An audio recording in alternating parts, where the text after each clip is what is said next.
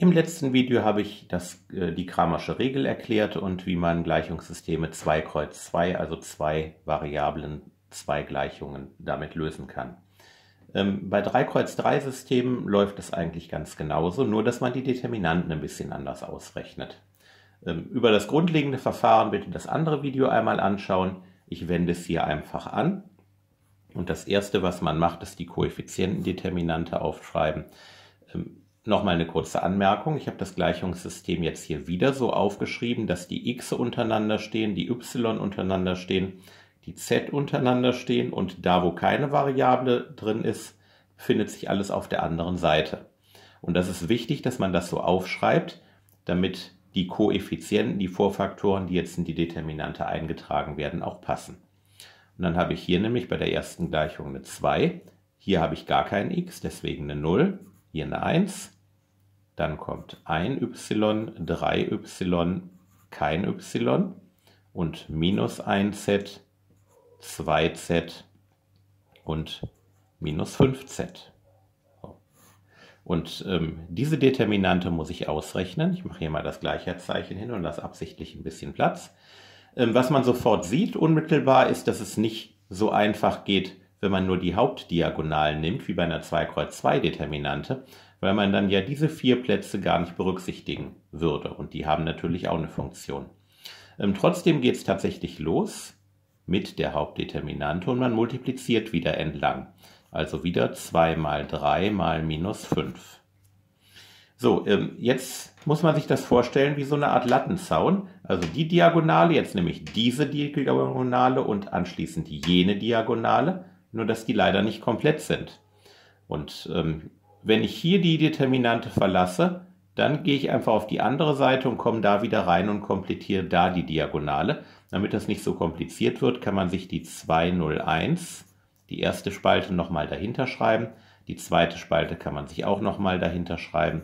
Das sind nur so Hilfswerte. Und jetzt sieht man, dass man die Diagonale daneben auch entlang gehen kann. Wenn man ein bisschen Übung hat, merkt man sich einfach, ich gehe hier raus, hier unten wieder rein. Ist auf Dauer wirklich kein Problem. Und zwar mit Plus. 1 mal 2 mal 1 plus minus 1 mal 0 mal 0. Ja, wenn da eine 0 drin steht, plus 0. und jetzt geht es wieder von unten nach oben, wie bei der 2 Kreuz 2 Diagonale auch, und wieder mit Minus. 1 mal 3 mal minus 1. Ja, jetzt die nächste Diagonale minus 0. Ja, mehr brauche ich nicht aufzuschreiben. Und die nächste Diagonale minus 0. Okay, das kann man zusammenfassen. 2 mal 3 sind 6, sind minus 30. Dann haben wir hier plus 2, die 0 geht weg. Dann haben wir plus 3 und dann hätten wir minus 25. Und das ist der Wert für d.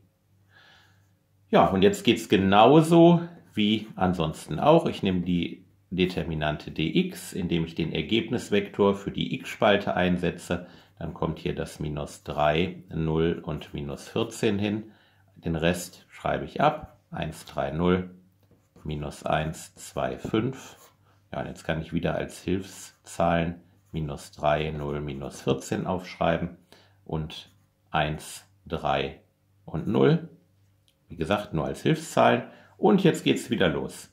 Muss ich minus 3 mal 3 mal 5 rechnen und die, die, die nächste Diagonale plus 1 mal 2 mal minus 14 und die nächste Diagonale, da steht eine 0 drin, die kann ich mir also sparen. Und jetzt die Diagonalen von unten mit Minus. Minus, ja, Minus und Minus hebt sich schon mal auf. Deswegen schreibe ich einfach 14 mal 3 mal 1 minus 0 mal etwas, minus etwas, wo auch eine 0 drin steht. Das heißt, da sind wir schon mit durch. Und rauskommt 3 mal 3 ist 9, mal 5 sind minus 45.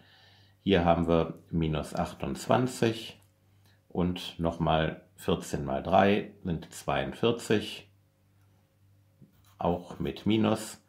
Und das kann ich jetzt nochmal verrechnen. Dann habe ich hier 40, 80, 100, 110, 115, wenn ich mich jetzt nicht verrechnet habe. Nochmal gucken. 40, 60, 100, 110 minus 115. Und ähm, ja, auf diese Weise geht das Ganze voran. Ich brauche jetzt nicht für jede ähm, Determinante das einmal zu machen. Ähm, das Prinzip ist das gleiche wie bei der anderen Kramerschen Regel. Ich würde dann das, ähm, das x ausrechnen, indem ich die Determinante dx durch d bilde. Das wäre also an dieser Stelle dx minus 115 durch d durch minus 25 und dann hätte ich sofort den Wert für x raus und würde das dementsprechend für y und für z wiederholen und damit ist das Gleichungssystem gelöst. Nochmal kurz die Erklärung. Kann ja nochmal bei dx das hier machen.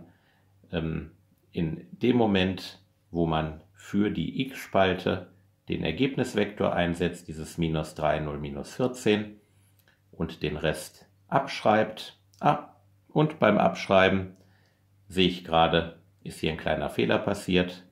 Da müsste eigentlich eine minus 5 stehen. Jetzt gucken wir mal, wie schlimm das ist. Das ist insofern ein bisschen unangenehm, als hier ein Plus hinkäme. Ne? So läuft das dann in aller Regel, weil Minus mal Minus Plus ist.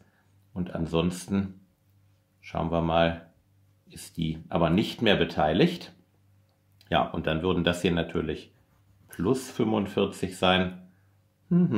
So ist das Leben dann manchmal. Und äh, ja, dann hätten wir hier 45 minus 40, 60, 70, minus 70. Und das sind natürlich dann nicht minus 115, sondern das sind minus 25. Ja, ja. Ähm, so geht das manchmal. Ihr seht, aufpassen ist wichtig, ansonsten klappt das Ganze nicht gut. Sonst kriegt man nämlich den falschen Wert raus. Ja, jetzt muss ich natürlich auch an dieser Stelle minus 25 durch minus 25 nehmen. Und schon haben wir 1 für x. Ja, das mal als kleines Beispiel, dass man auch mal mit Rechnen ein bisschen aufpassen muss und mit dem Abschreiben dessen, was man tut. Aber das Verfahren sollte nichtsdestotrotz klar sein. Man berechnet die Koeffizientendeterminante und ähm, diese Regel ist auch als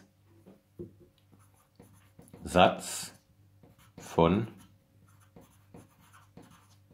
Saros in die mathematische Geschichte eingegangen oder als Jägerzaunregel oder Lattenzaunregel, dass man die Determinanten so ausrechnen kann, weil das so ein bisschen wie ein Jägerzaun aussieht mit den ganzen gekreuzten Diagonalen. Ja, ähm, eine Anmerkung noch. Kramer 4 mal 4 sollte man per Hand die Finger von lassen, denn dieser Satz von Saros gilt nur für 3 Kreuz 3 Determinanten. Das ist ganz wichtig. Ähm, für 4 Kreuz 4 Determinanten sollte man die Entwicklungssätze für Determinanten benutzen, also die Determinante nach einer Zeile oder Spalte oder was auch immer entwickeln. Aber das ist dann ein Haufen Arbeit. Ähm, sowieso sind 4 Kreuz 4 Gleichungssysteme, nach welchem Verfahren man sie auch lösen möchte, ein Haufen Arbeit. Aber das wird dann mit den Determinanten unter Umständen schon sehr unübersichtlich und sehr viel Arbeit. Und da muss man sich dann was anderes unter Umständen überlegen und doch ein anderes Verfahren, vielleicht den Gauss-Algorithmus wählen oder sonst was. Ja, das zu Kramer 3 Kreuz 3. Hoffe, das ist soweit klar geworden. Und den Rest könnt ihr ja dann einmal selber ausrechnen und gucken, was für y und für z herauskommt.